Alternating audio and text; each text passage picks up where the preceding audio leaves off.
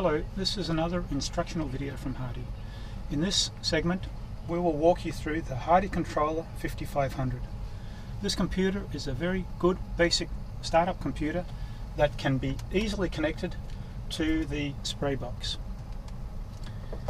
Before you start, you'll need a few things, and the first will be a measuring tape. The second will be a the calibration jug, and either a nozzle chart or the uh, disc supplied with the sprayer, some sort of a timing device, and the uh, quick guide and instruction book as backup to this video. This video is divided up into six sections. It will be the connection of the uh, unit, uh, the uh, functions, the menus, the calibration, daily settings, and then at the end the special features of this product.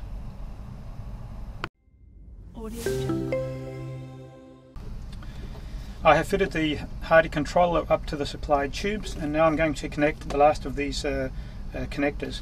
They've got lugs so you can't make a mistake as to which one goes where.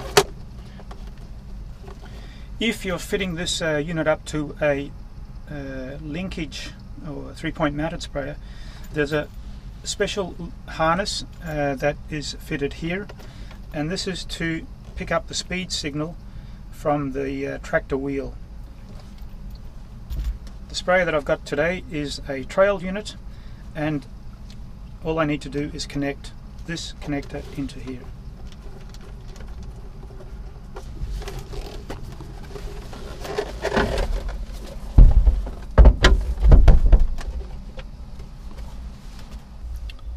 Let's turn the sprayer on.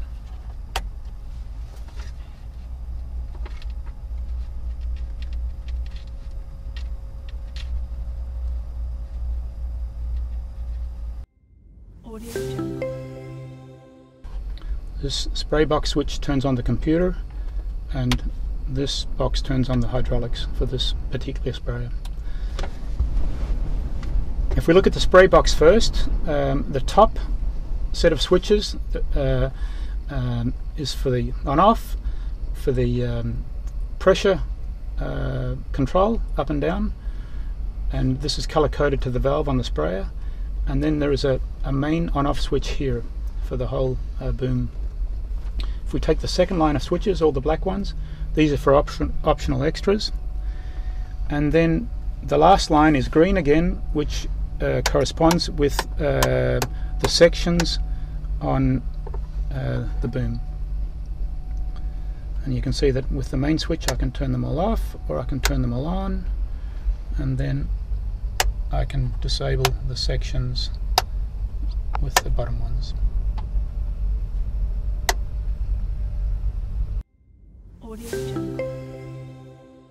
Let's look at the um, HC5500.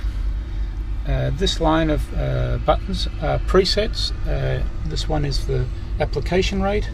Here we have the, um, the, the, velocity, the speed. Here we have the tank contents, the area sprayed, and both of these are relevant to this uh, register up here, register number three. And this one here is for the total of um, amount of liquid sprayed out for this register. It could be three or four tank loads that are shown up here. The last um, button here is how many meters or feet I have left uh, before I run out of liquid. The last one is the auto button. I'll come back to that. If we look at the navigation, um, uh, we can start with uh, the uh, enter key. So here I can uh, go into the menus and by using this arrow up I can go to menu 2 which is a setup 3 calibration toolbox in number 4 and in number 5 the logbook. If I press again it just goes back to number 1 um, and if I press escape that'll bring me back to the um, user menu. The user menu has got four lines. The top one showing the boom status that we looked at before the second line is the uh, big readout from the presets. uh, which is determined by the preset buttons. And then the last two lines, um, you can actually uh, define these yourselves, and I'll show you how to do that later. Um, a little bit more about these uh, up and down buttons. If I press this one, it will now uh, overdose the programmed rate, in this case 110 litres per hectare, by 10% or 20 or 30 and the same I can reduce it uh, with this one. And if I want to go back to the uh, program function I can push auto and then that'll bring me back to the program function.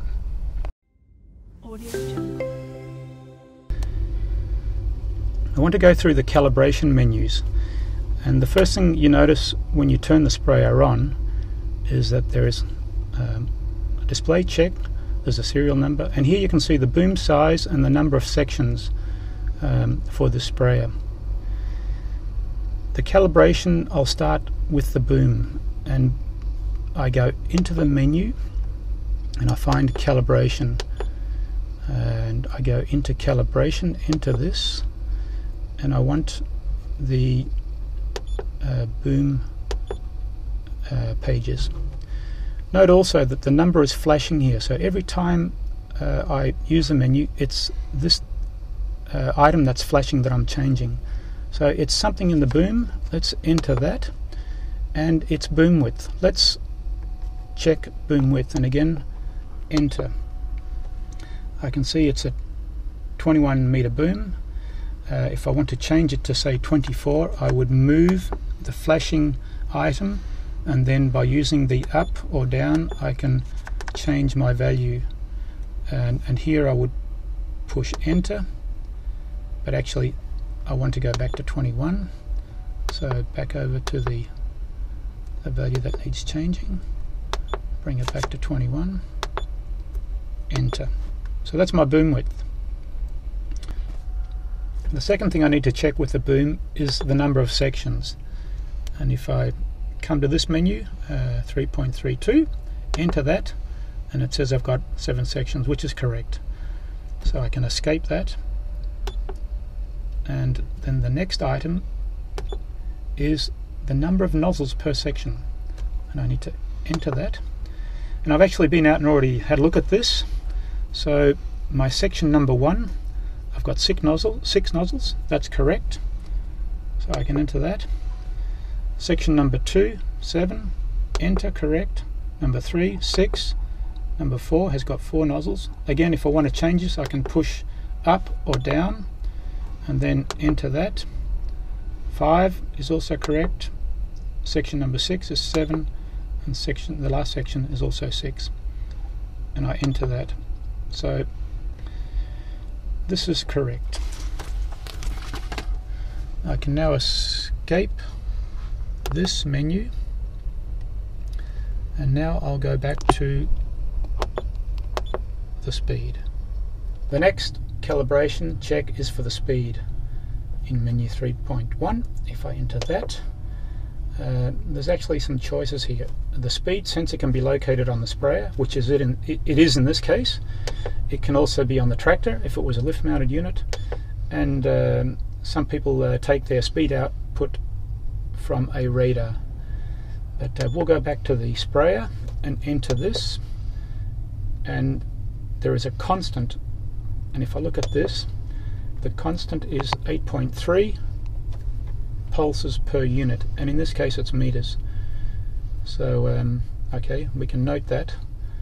Um, I want to escape that because I want to do a practical session. If I enter that so I'm in menu 3112 and uh, the measure distance um, um, is my start point. I've already marked off uh, a known distance and now I'll start the tractor and drive the distance.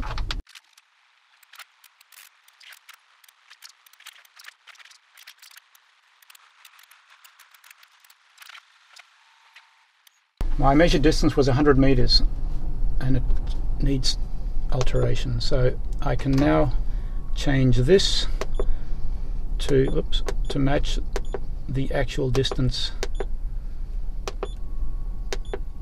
which is 100 meters I now enter that and now I have my new more correct constant. Uh, the final calibration is on the um, flow and I find that in menu 3.2, enter. I can look at the constant in the system and at the moment it's 129.1 pulses per unit or pulses per litre. Um, I want to do a, a, practical calibration and for that I will use the nozzle method. I enter that.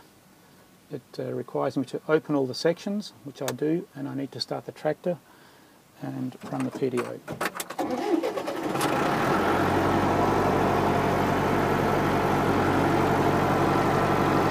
Now I have a total flow, uh, and this flow is litres per minute per nozzle. And I will set the pressure so I can then go out and measure the nozzles at a known pressure.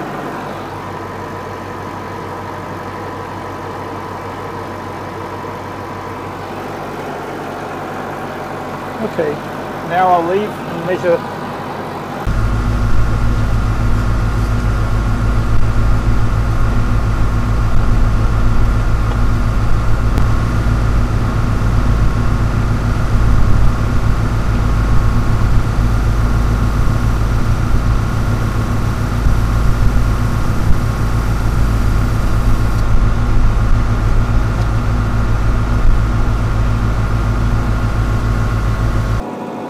practical calibration, I saw that I was actually putting out 1.0 litres per minute.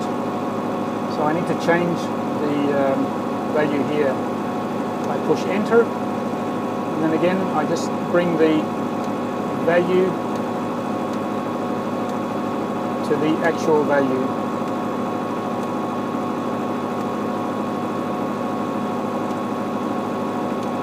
Which was one litre per minute That'll give me the new uh, calibration constant. And now I have finished with that. I can push escape.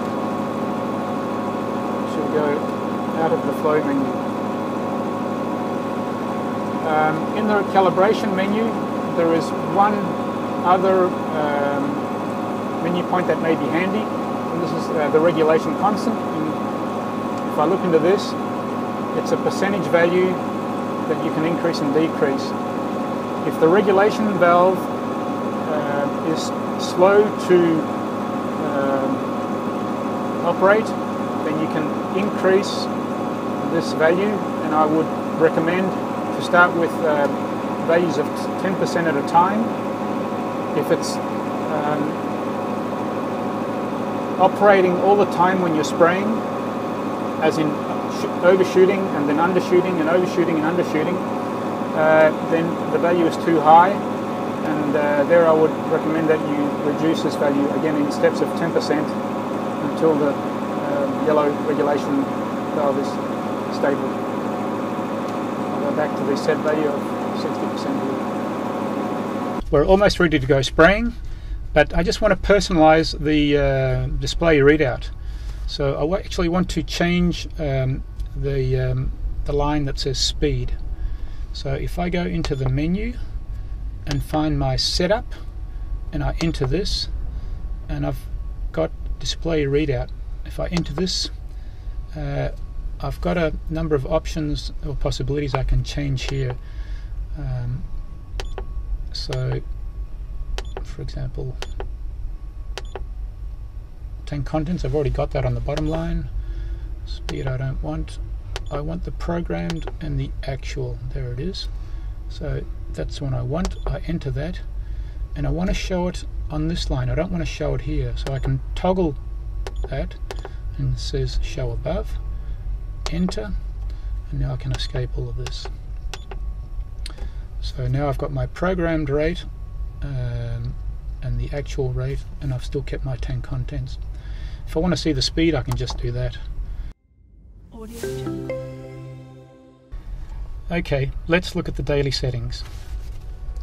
Enter, and it's the very first menu that pops up.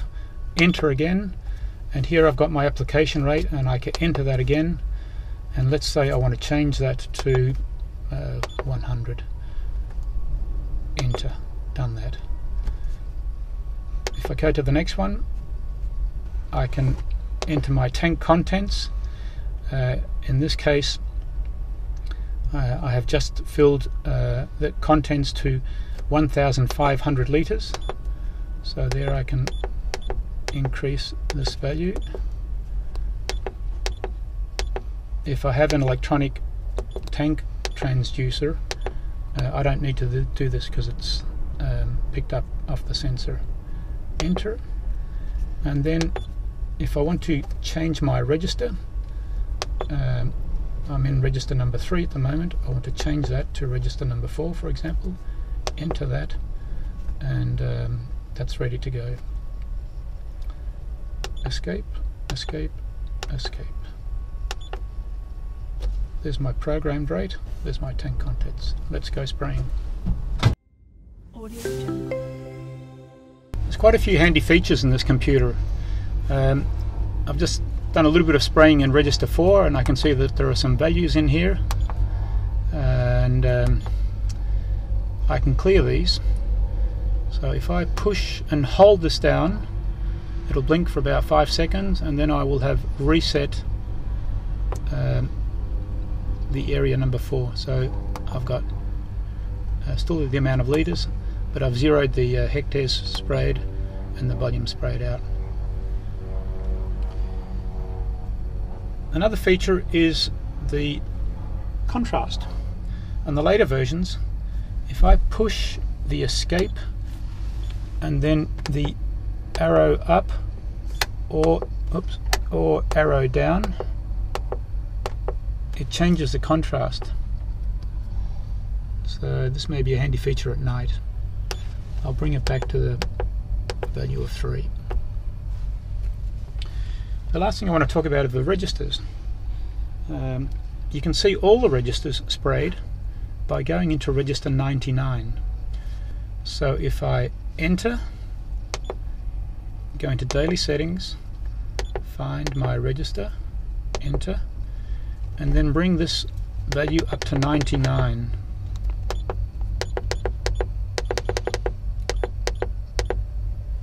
enter and now I can see when I've started and stopped this uh, work I can see the total volume sprayed, the total area uh, the average speed and the maximum speed uh, the distance travelled and the spraying hours the rate and the average uh, application rate. I'm sure you'll find the supplied quick guide useful and I hope you found this video useful for more HARDI instructional videos, go to our YouTube channel.